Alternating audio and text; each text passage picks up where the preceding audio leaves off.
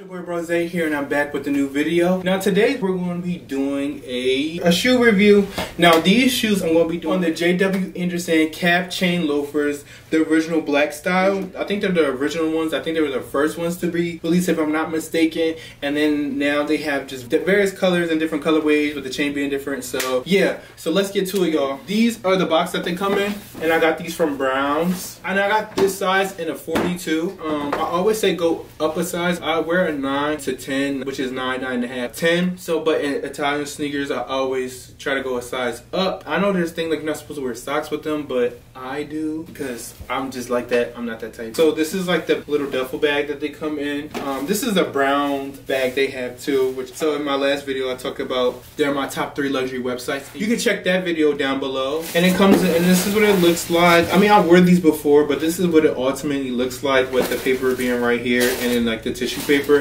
And I'm gonna only take out one, which is this one. Here they go. These are the slides.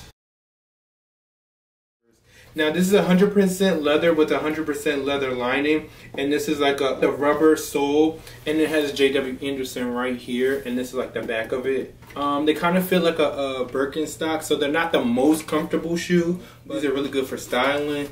This is a video of me when I'm wearing this outfit while I styled these. Um, I styled these in two different outfits but I'm to show you the one that without this coat because I wore it with this coat before.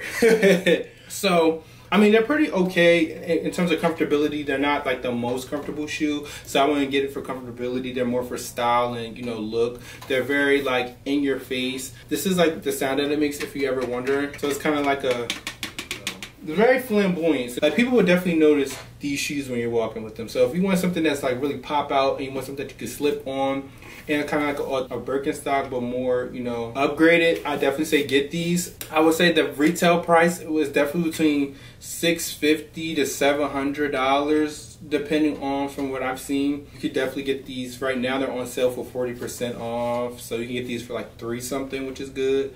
Um, I definitely got mines for like the low too. So yeah, I'll definitely say get these for the low if you can. But if we want them right now, you know, pay what you think they're worth. It really nothing spectacular. This is the inside. It does bend.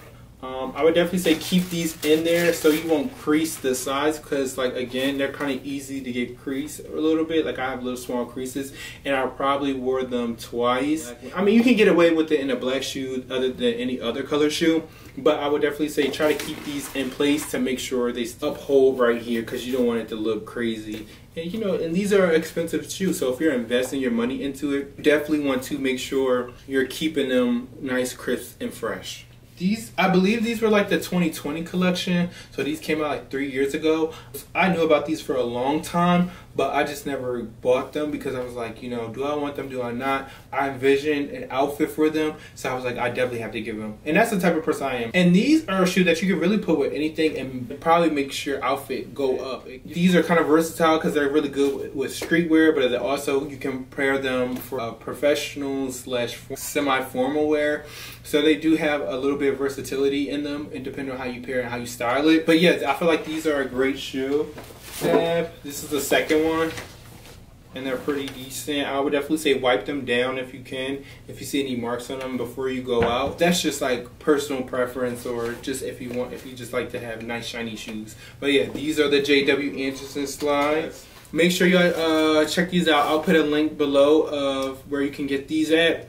Uh, let me know if you like them, if you got them, how do you feel about them. Instagram and social media to see a picture of me wearing them. Keep liking, keep subscribing, keep sharing, and I appreciate y'all. See you on my next one.